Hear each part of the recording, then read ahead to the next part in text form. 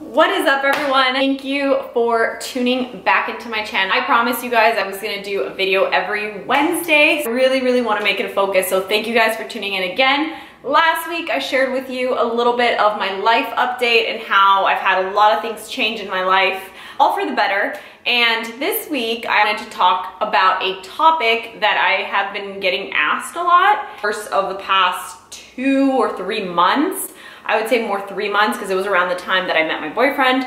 I completely, I wouldn't say I completely let go of the gym or dieting. However, I just focused on being happy and healthy and not really dieting and not overdoing cardio and not overdoing the gym or anything like that. And the result of that ended up being me losing weight, which was actually kind of crazy. That I see these top tips that I'm about to tell you, they're more of lifestyle habits. I, I really believe in creating lifestyle habits and not restrictions because the moment you feel like you're dieting or you feel like you have to go to the gym, I feel personally, those are the moments where you don't really want to and you actually start craving everything else. So anyway, I'm gonna jump right into these top five tips before I start rambling on for 20 minutes. Uh, but I hope you guys find these useful and helpful. I will go into more detail on future videos within each step, if that makes any sense. All right, let's do this. This is what I feel the most important thing that you can do uh, because it's gonna help you regulate your hormones and everything like that is gonna be to get enough sleep. Number one, get enough sleep. I know that obviously everybody hears it, get at least eight hours. My personal magic number is seven. Uh, it all depends on your sleep cycle. It's super important to set yourself a sleep schedule. So know exactly when you're going to sleep and at least during the week. Obviously on the weekends you might stay up later, which is totally fine. But if you're always going to sleep at the same time during the week, your body gets used to that. It wakes up at the same time. You get your circadian rhythm flowing and that has so much to do with your ability to regulate your hormones. Hormone regulation is tied with weight loss, with your ability to keep your body composition a certain way, with how you feel, your energy level, so many things. So it really all starts with getting good sleep. All depends on what you can do, but I always recommend sleeping at least six to nine hours. All right, number two is to control your stress levels. And I'm not gonna say get rid of stress because I actually personally believe that stress isn't necessarily bad. Obviously there's different levels of stress, but I remember watching this really good TEDx video that I will link below and it's this lady, I forget her name right now, but I'll link it below. She's talking about how stress is actually a great thing. And I do believe that because sometimes when you're stressed, it actually puts you in like fight or flight and you get more things done. So I believe a little bit of stress in your life is a good thing, but in general, controlling your stress levels, controlling anxiety, bad thoughts, all that stuff that leads to stress, I totally believe in controlling that. And one really good way to do that is to meditate. All right guys, I just ran downstairs because the doorbell rang and while I ran downstairs, my camera fell off of the stand and it's not turning on. so whatever, I'm just gonna laugh that off. Kind of makes me sum up the reason why it's so important to meditate is that it just calms your anxiety and it just makes you realize that all these like external things in life, they don't really matter. We're so much more than our material objects. We're so much more than our body. Uh, we're so much more inside. And I think that that's what the main thing that meditation just grounds you and it makes you realize that you can overcome anything that happens in your life. And controlling stress is going to ensure that you're able to get the results you want with your body. This is what causes you to kind of form more of a belly because this is all your insulin and your high cortisol is, is running, you know, super, super high if you're stressed. So all that is gonna result in storing belly fat. Doing excess cardio, which is more stress, too much training, more stress.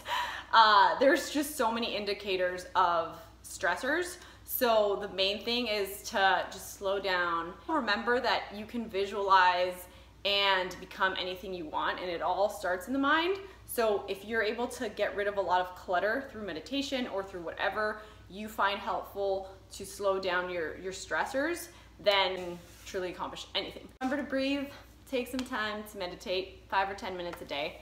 That is my number two. Number three. that looks like six. Number three, fasting. Now, intermittent fasting is a huge hot topic. I totally believe in it and I also benefits that I feel uh, are beneficial aside from weight loss from intermittent fasting is increased energy and also hormone regulation. There's different type of fasts.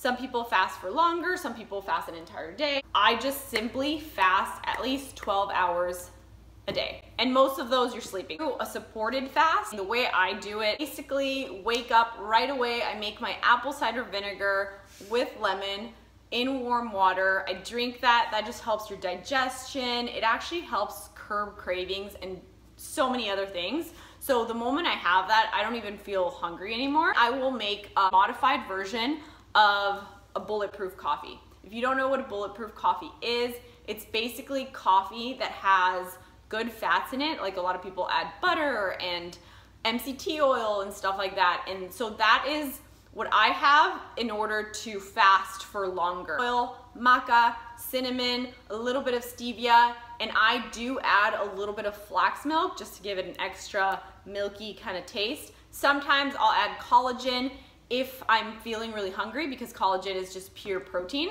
So then what I'll do is I'll blend it, have that, and then I'm not hungry at all till around 12 or 1, you guys. It's amazing. All about those six meals a day kind of life. I don't have time for that. So now I prefer to start my day like this and I will consume three large meals throughout the day. More into detail on a future video. Maybe next week I'll, I'll give you guys a body update when it's not that time of the month anymore.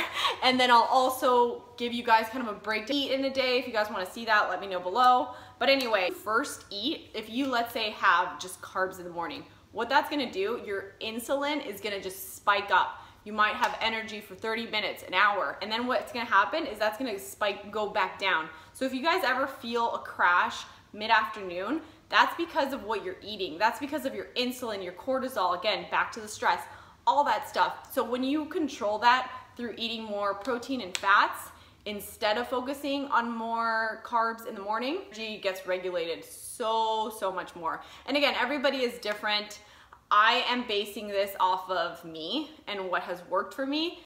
It might not work for you, but you can always give it a try put it out there. And again, I will go into more detail about my exact, like everything that I have been doing in possibly next week's video if you guys wanna see that. Number four is to start your first meal with protein and fats. Why to consume protein and fats first thing in the morning? It goes back to the whole insulin thing, which I actually just described during the fasting thing, but I was supposed to describe it here. Anyway, going back to that, when you consume protein and fats, Fats are slower to digest and protein is also slower to digest. So that's gonna help curb your cravings, keeping you fuller longer.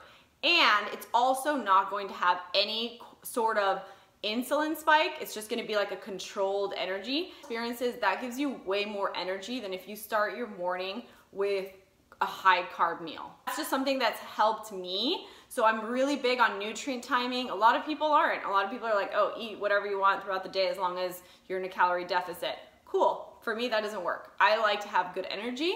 And the way that I have good energy is when I consume protein fats first thing in the morning. Again, the collagen and the MCT oils in the coffee. That's one example. And then I usually go train. And then post workout is when you want to emphasize the most amount of carbs in your meals. Numero cinco. Uh, the, the last tip that I have for you guys today in order to kickstart your fat loss goals without even having to diet is to eliminate inflammatory foods. This really varies from person to person. Not everyone is allergic to certain foods. However, some of the top inflammatory foods are included in so many processed meals or, you know, they're hidden in so many things you don't even realize. The top one, especially for me, is dairy. Dairy obviously is found in so many things. About two or three months ago, I got an allergy test done finally uh, to kind of show me what I was uh, allergic or intolerant to. And the main one for me was dairy. Just so you guys know, I used to probably consume whey protein, which is a dairy derivative, every single day of my life, probably before I knew that, obviously, for the past three years. So imagine all inflammation that was going on inside me just from that allergy. One is, and I totally try to eliminate this regardless, but a big one for people is gluten. That didn't come up in my test. However, I noticed that when I do eat gluten, my belly just like extends. I get super bloated and all that stuff. And it's just, it's not pretty at all. So I personally try to avoid gluten and I totally recommend that you guys do as well. Uh, stick to foods that are not processed. Things that are grown in nature, vegetables, all sorts of vegetables. Again, some people can be intolerant to certain vegetables. So I totally recommend that you guys get your allergy or intolerance test done because once you pinpoint that, it's so much easier to say no to a certain food when you're intolerant. Balance is totally fine, but when you are intolerant to a certain food and you eat it and it's an inflammatory food for you, it is not pretty and you realize it. So anyway, not to like jump into that, but I'm sure you guys have heard that a lot of issues in your body start in your gut. So one way to heal your gut is to make sure that you're consuming a diet that is right for you and that is anti-inflammatory and that isn't gonna cause extra inflammation because if you are inflamed, that's gonna mess up with your hormones again, with your digestion. Your digestion is everything. Again, your gut is everything. So make sure to eliminate those inflammatory foods and also to make sure to add some probiotics into your life and digestive enzymes if you have any kind of digestive problem. I consume uh, these papaya chewable enzymes and they've actually helped me so much because after eating a lot of meals, I get very bloated. Enzymes actually really help with that and probiotics as well, other digestive enzymes as well, L-glutamine, fish oil, aloe vera. There are so many things that you can do to heal your digestive system. The main way that you could do that is again to eliminate those inflammatory foods. And again, in future videos, I will go into more detail on each and every little thing, but those are some things that have helped me a lot. And again, these are lifestyle habits. They are not restrictions who benefit you in way more than just losing weight, but your energy levels in feeling your best. Be Doing a lifestyle challenge in November. It's gonna be called Feel Your Best right before Thanksgiving starts and all that stuff. So if you are interested in joining this challenge with me, is gonna incorporate a lot of my methods like having the apple cider vinegar in the morning, the bulletproof, and then the three meals a day, give you exercises, a full meal plan, all super healthy and everything that I've talked about in this video. More details on that will be posted on my Instagram page. I wanted to let you guys know that. I'm super excited for it. Guys again for watching. Leave me some comments below if you have any suggestions on things you would like me to cover or if you have any questions at all. I appreciate your guys' love and support. Mwah. Have a great week.